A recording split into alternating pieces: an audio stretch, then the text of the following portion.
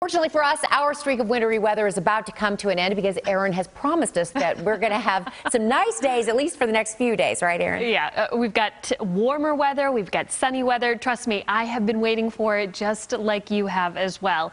Uh, it's nice to get a little bit of a taste of winter, but this is just too long. We've had four first alert weather days in a row. It's finally coming to an end. We're looking out over Arlington right now, uh, and you can see cars you know, they're, they're, they're, moving pretty fast, trying to slow down a little bit as we get to the overpass here.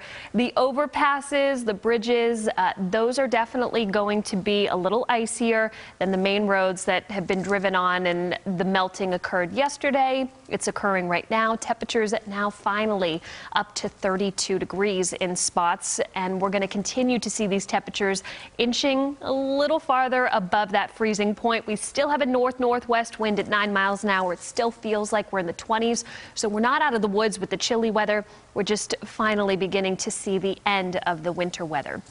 We still have precipitation in the forecast for this afternoon, though. We look at radar, mainly to the east, it's a cold rain. And I still think even the spots showing returns of some freezing rain, this is a little more aggressive than what I think is actually reaching the ground. Remember, the radar beam looks higher up into the higher up into the sky, higher up into the atmosphere, uh, the farther in that rotation it is. So when we look into Denton County and into Wise County, it's looking like more freezing rain is falling, but this is likely not reaching the ground all of the way. Still, I do have rain in the forecast this afternoon.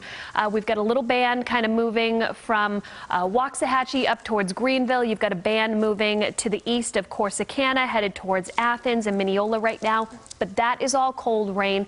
Uh, to the west, where we still have some freezing rain to go, all of this is going to be moving into warmer air. Remember, we're warming up above freezing as we head into this afternoon. So when you look out to the west of Breckenridge, you can already see that transition over from a freezing rain to a cold rain, and we're expecting more of that making our way into this afternoon. This is the end of this system. You can see the clearing out towards Lubbock right now. That's headed in our direction overnight. So we've got a little bit more cloud cover. We've got a little bit more winter weather to go. And then we will be clearing out into this evening. So as you look at the hour by hour today, we'll see the temperatures jump from around 32 into the mid 30s by 4, 6 o'clock tonight. Yes, it still feels like the 20s, and yes, we still have some cold rain to go, uh, but we are seeing improvements finally getting above that freezing point. So looking at Futurecast into that midday time frame, remember we watch out to the west to see uh, all of that precipitation moving in for the late afternoon and early evening, but it's transitioning mainly over to a cold rain.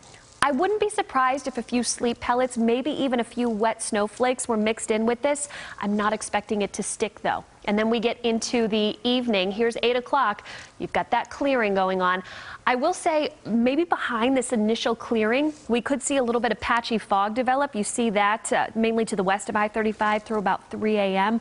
But I think by 6, 7 o'clock, we are clear. We've got temperatures in the 20s and 30s, but we will be warming up into the afternoon. The one thing I want you to keep in mind with these headlines, tonight into Friday morning, Temperatures are going to drop into the 20s and low 30s again, so there will likely be some icy, slushy spots for tomorrow morning.